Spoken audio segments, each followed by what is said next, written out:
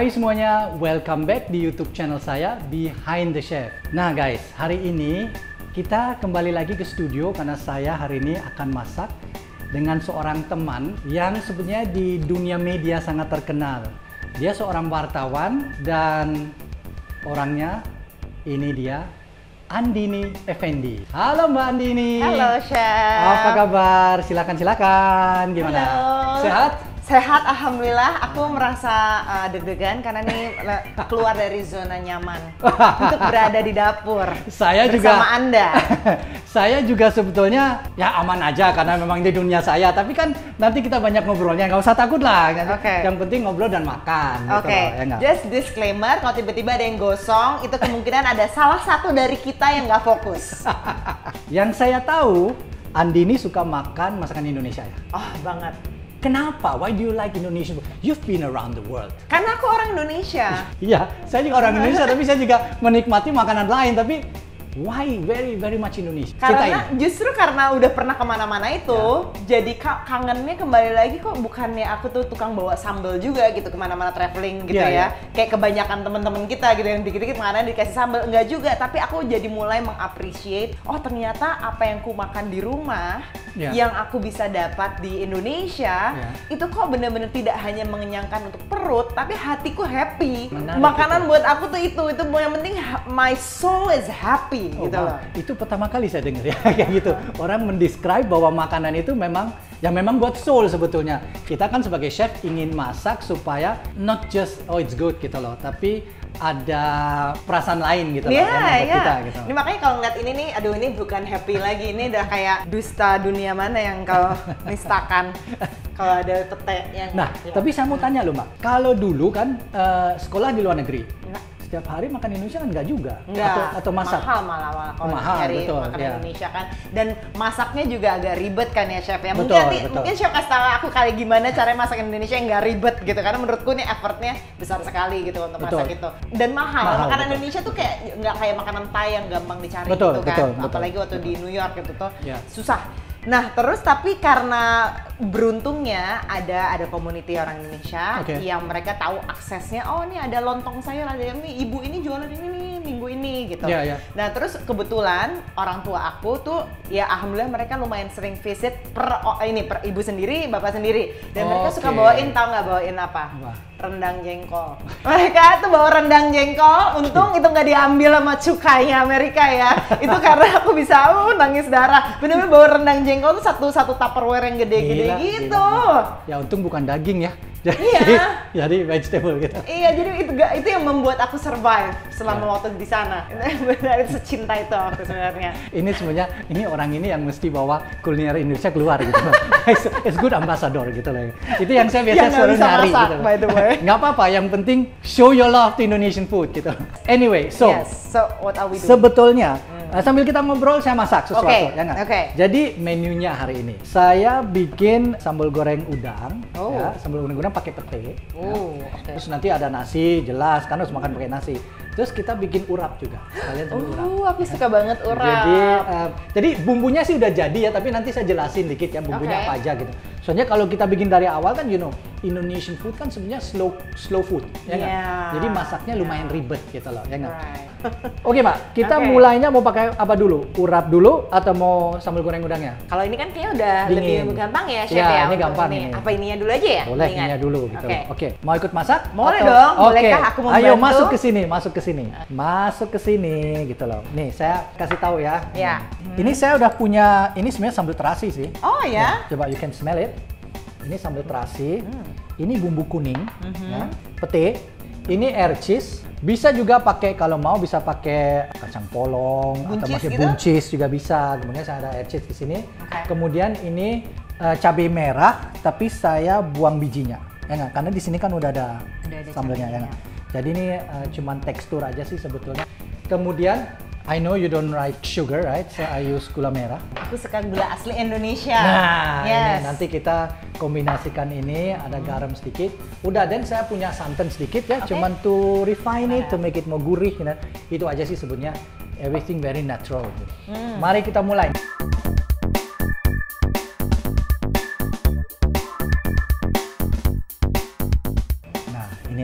Langsung masukin Oh langsung. Ini nggak- dia nggak layu kalau dimasukin sekarang. Ini masukin. Gitu. Mau banyak? Iya dong. You like it? Just give it. Of Give it. course. Ya. Sekarang disote pelan-pelan. Oke. Kenapa dimasukin sekarang? Ah, Supaya flavornya keluar. Ya nggak?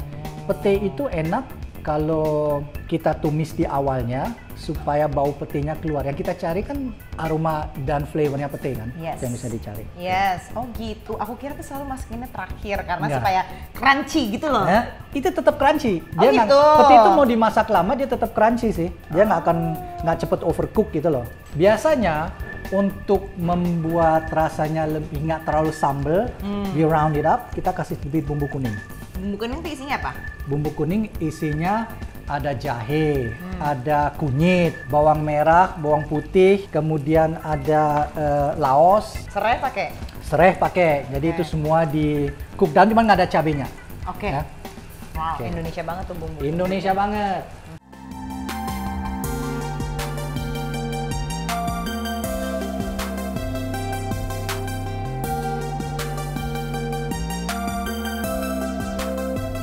Kalau sebetulnya kita kadang-kadang malah ada yang nggak ngasih eh, kaldu, kasih udang yang ada kulitnya yang Iya, banyak. iya. Itu biasanya keluar banyak airnya, tapi udang udangnya kita udah dikupas gitu loh. Hmm, enak sekali ini pemirsa baunya. Nah, apalagi kita rasanya. jadi mau ngobrol jadi ngomongin makanan ini. Iya. Tapi nanti sambil sambil ini sambil Tapi nanti apa? boleh dimakan kan ini, Chef? Oh, ini memang buat dimakan. That's a waste if you cook something you don't eat it, right? Exactly. You have to eat don't, it gitu. don't let food goes to waste. Nah, gitu. Yes. Nah, ini kan ini kelihatan ya sebenarnya ini ada sausnya. Like you see, ini kan nggak pakai banyak minyaknya di awal aja. Ya, jadi ini sebenarnya bukan digoreng sih, walaupun namanya sambal goreng gitu ya. Ya, ya. Ini nggak digoreng karena sambelnya itu yang tadi pemain utamanya. Hmm. So now, this your spoon. Yes. Try a little bit. If it is it salty enough, not enough, do we need to add more salt? Do we need to add more sugar or too much sugar and we add something else? What do you feel? A little bit of salt. A little bit of salt. Hmm. I follow your your lead. Oke. Oke. Salt udah masuk ya. Yes. Oke, sekarang ini kan masih mentah nih ya. Iya. Ini kan dengan masaknya slow gitu ya, Iya. nggak nggak terlalu. Kalau dengan suhu segini tuh bagus banget. Hmm. Jadi uh, we cook it very slow, tapi dia nggak cepet gosong. ya Yes. nggak?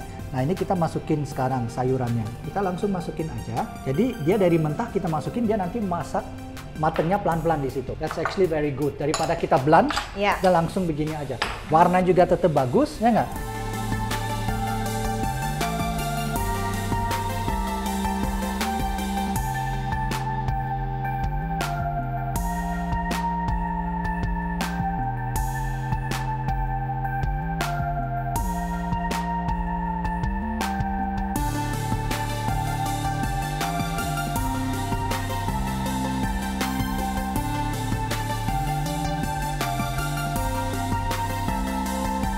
So, when you look at it, dengan preparean yang lumayan lengkap, ini masaknya cuma 5 menit. Iya, ya nggak? benar. Jadi kan sebetulnya nggak susah ya So masak. it's not really slow, slow.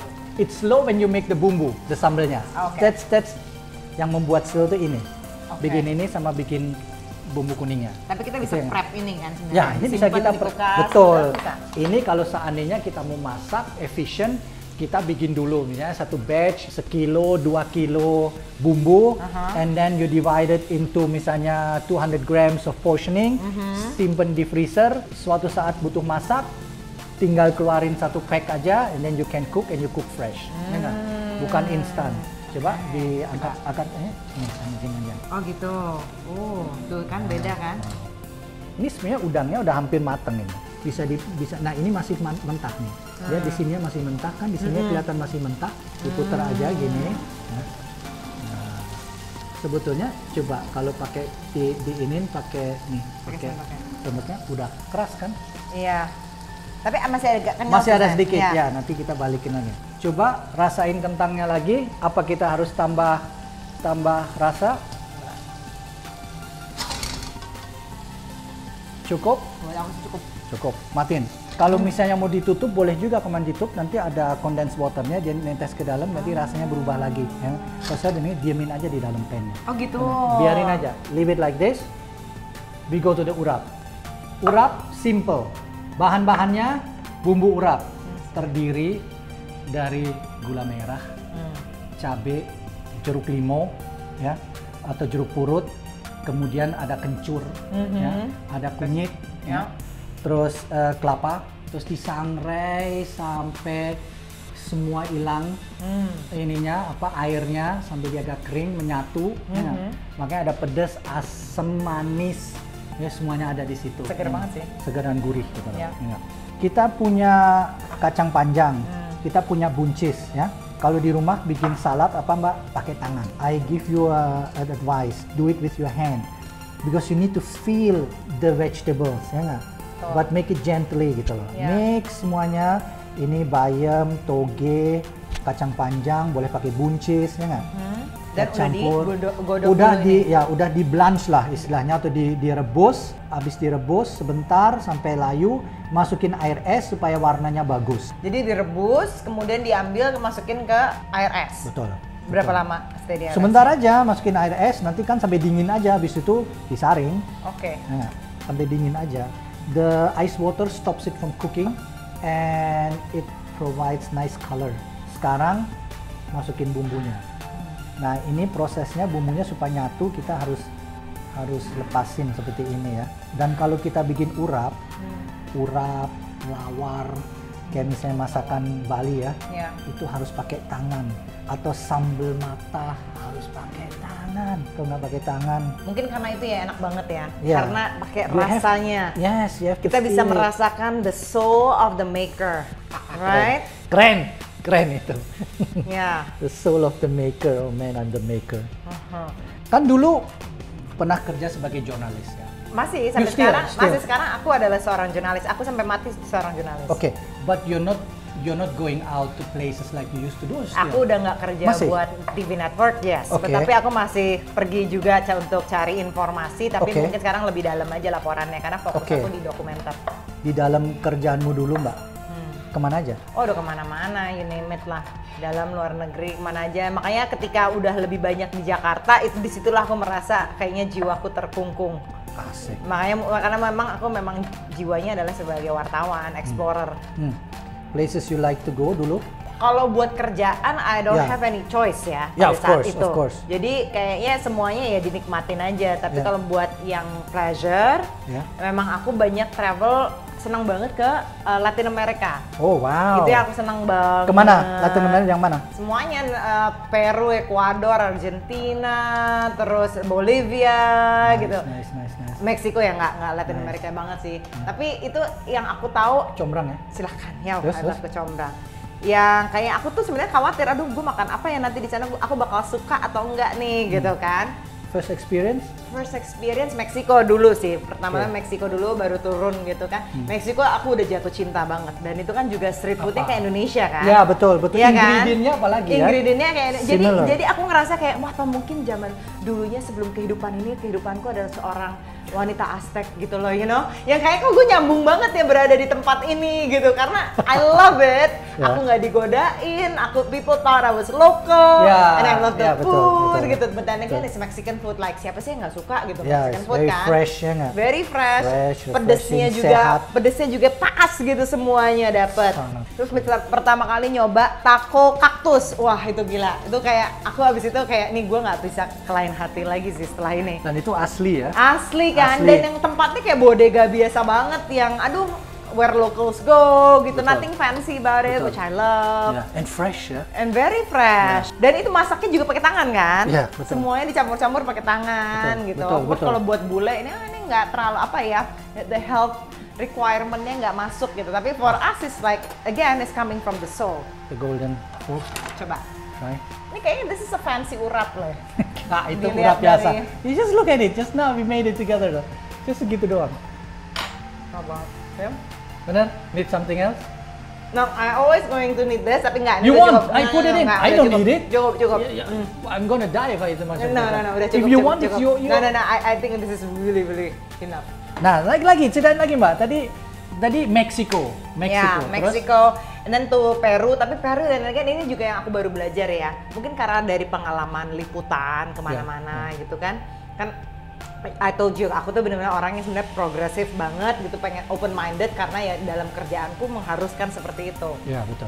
Untuk karena untuk bisa gain information, you gotta be Betul. open minded, right? Udah gitu, tapi itu jadinya kebawa kebawa ke ini aku, ke apa namanya, ke ke pribadi aku ketika aku liburan. Oke. Karena dulunya tuh aku nggak pernah peduli gitu mau makan apa tuh nggak nggak pernah peduli. Ntar gue makan yang gampang aja pizza or anything yang I can find, Iya, gitu iya, kan? iya. Nggak ada appreciation on food. Iya, iya. Tapi karena kerjaan dan akhirnya meng- yang mengkonek aku dengan narasumber aku yang akhirnya kita jadi berteman segala macam adalah makanan. Iya. Jadi ketika aku liburan yang selalu aku cari, oke, what is their their authentic food of this, not even the country, of this city. Oke, oke. Jadi benar-benar deepnya ke situnya gitu. Alhamdulillah nggak pernah punya uh, masalah untuk dapet teman baru. Oke. There's always someone that connects us gitu loh, siapa pun yang tinggal di Ya. kota itu. sambil sambil saya plating sambil Ya. cerita aja. Yes. Nah terus Kemudian ya udah, terus jadi waktu ke Peru itu juga aku I didn't know kalau quinoa was a big thing dah gitu Yeah. kan ya. Dan itu yang kayak di pasar tuh yang satu kilogram quinoa mungkin harganya 5000 gitu. Hmm, cia. Gila, pas ke Jakarta quinoa udah kayaknya makanan yang paling banget, hebat ya. banget sedunia Iya, ini. iya. Wah ini nggak bener nih, kita tuh kayaknya being brainwash. Ini memang makanan superfood, tapi it shouldn't be that expensive. Exactly, exactly. Kalau lu lagi di Peru ya of course lu makan quinoa, tapi Iya. ketika kita lagi di Indonesia ya makan yang superfoodnya Indonesia dong. Betul. Nah, dari situ yang aku juga mulai terbuka kayak appreciate not only the taste and the Ya. maker, tapi how it grew, Betul. how Penting. it source the food. Yes, very Karena I important. think the relationship of us in the food is not only kayak udah nih nasi, this is gue lo aja. No, Yeah. there's like people behind it, there's soil behind it. Jadi satu kesatuan yang harusnya nggak perlu dilepas. Makanya ya itu dia balik lagi. Mungkin yang aku bilang the soul of the maker, it's the soul of everything dari petaninya, Betul, betul, betul, right? betul. Dari semuanya hulu sampai hilir sampai akhirnya jadi begini. gitu, Sourcesnya right? penting karena di belakang itu banyak sekali kerjaannya. Untuk dapat misalnya ini ya, when you look at oh kita liatin semua komponen yang ada di sini, ya nggak? Itu ada kerjaan di belakang itu. Banget, Ya. banget. Dan ada story di belakang itu juga Mhm. gitu loh. Ya susah payahnya, drama dan lain-lain gitu. banget Kita- makanya I uh, I love what you uh, what we say and then you said about Indonesian is slow food cooking segala Yeah. macam karena menurut aku the slow food itu bukan hanya pas lagi proses kita ini tapi ya akhirnya sampai bisa jadi ke Betul. sendok garpu kita Betul, betul banget. Kalau mau di Oh, nice. sedikit, bisa It's pakai urap. Gini, ini cuman it's everything that you have already gitu loh in Hmm. your in your- dan itu semua local product ya nggak? Yep, Kita yep. bisa menggunakan local product, make it nice. Dan ini kan sebenarnya apa bumbu urap itu kan sebenarnya bisa dibilang itu a dressing ya, but it's a Yeah. dry dressing, dressing Yeah. yang kering ya sebetulnya. Yeah. Tapi balik lagi untuk bikin urap seperti ini kan eh, kerjanya banyak ya nggak? Step-stepnya banyak. Yes. Selain orang yang masak juga produk-produknya yang di yang dipanen di mana ya Hmm. There's a lot of work di dalam situ. Nanti kita kasih bawang goreng lagi diambil Oh, nih. Saya punya di sebelah bawang goreng lagi diambil. Sekarang ini mbak, Hmm. your My sambal goreng. udang udah matang tuh ya udah mateng. wow Wih bau petihnya. hmm, mantep loh Waktu dulu sebagai jurnalis ya, eh, kan tadi sempat ngomong soal your food diplomacy. Gimana mendekati orang lewat makanan cerita ini mbak? Mungkin aku ambil salah satu contoh aja kali ya. Jadi Ya. waktu itu tuh aku pernah liputan di Aceh Timur. Kita mau ketemu mantan tan- tentara GAM. Oke. Kayaknya dia posisinya panglima atau apa. Nurdin Diminimin, aku masih ingat banget namanya. Eh, Dian kalau masih ini kalau sempat nonton, ini kita lagi bahas loh. Sayangnya nggak pakai kopi Aceh yang manis sekali itu. Lain kali mungkin ya Lain nggak? kali mungkin nanti kalau lagi ke Jakarta atau aku ke sana. Itu tuh udah ke sananya susah, udah kita harus melewati banjir, literally jalan kaki banjirnya. Ini aku kan 174 ya, itu banjirnya segini aku nih, udah jadi bener-bener kayak pakai sepatu boots tinggi banget. Udah gitu pas ketemu kita masih kayak ya ada jarak di antara kita gitu kan, karena eh, dia nggak kenal aku, aku nggak kenal dia. Yeah. It was a long way to go, to get there segala macam. Terus tapi ya karena kita aku kita berkunjung ke rumahnya, ya otomatis dia nyiapin kopi, snack lah segala macam. Iya. Tapi dari yang kopi yang pertama itu tuh kopi Aceh tuh kalau pernah lihat tuh kan yang buatnya gitu-gitu lah Enak, ya. enaknya. Dia kebetulan juga minumnya nggak pakai gula tuh. Jadi bener-bener you can taste the coffee, you can taste the, the The soul, ya, the soul, of ya, the betul, ya. coffee farmer. Keren. Dan yang buatnya tuh istrinya gitu. Jadi Oh, ya, you wow. taste everything in it. wow. Dari situ begitu tegukan pertama, itu kayak semuanya tuh udah lumer gitu loh, you know, everything the wall between us. Saya aku God. lagi, aku lagi bayangin kayak itu menjadi film gitu ya nggak? All of a sudden you close your eyes and then you have all these colors and all this, Yeah. this- the, the lingkungan di situ gitu ya nggak? Iya. Sunset in the coffee coffee plantation and Wah, all it's that. not really that. Ini sih sharingnya biasa aja tuh lagi banjir, terus gitu itu nggak ada sunnya juga. It's like capek, gue basah gitu. Tapi that coffee sort of like meng- menghangatkan semuanya aja. Wow.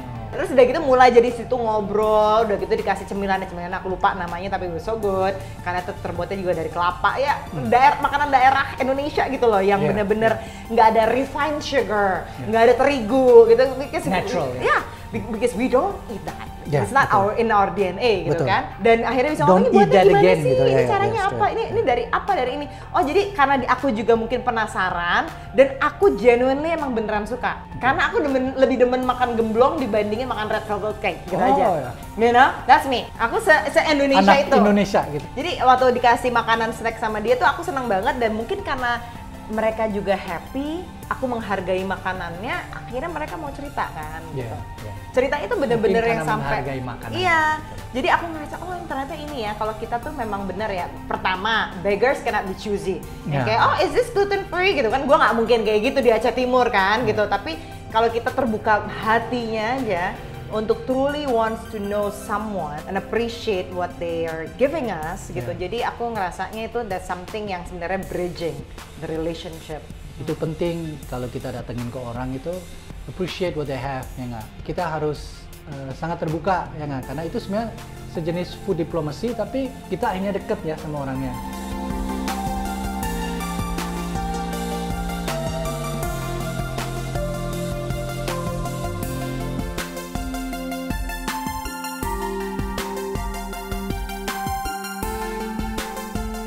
Boleh coba? Ayo, Oke. harus Aku dicoba. udah nggak sabar. Monggo, monggo. Ini uh, bagian favorit. Aku ambil nasinya sedikit ya, Ya, Chef. nggak apa-apa. Karena aku nggak mau membuang-buang Nggak makanan. apa-apa, nggak apa-apa. Aku ambil ahead. dulu yang Monggo. ininya. Sini aja, sini aja. Wah, ini Satu paling seneng nonton orang makan. lagi masaknya masak, Chef. Ah, Jadi enggak lah, saya kan yang masak bukan saya, masak Andini tadi. No, aku hanya sous chef, right? Cara mengaduknya itu yang penting. Uh, paling enak saya pakai tangan ya, Chef. Nggak apa-apa, mau pakai tangan monggo. Cuman jangan. Aku habis manicure soalnya. Oke ya. It's Itu actually the reason why. Oh itu jangan gitu. It's a good reason. It's a legit reason. Yes, true. Oke, Oke, petenya nih aku cari. Monggo. Oke, aku coba ya. Iya silahkan. Coba kita coba apakah ini eh, udangnya mateng. sudah mateng. Pasti mateng dong.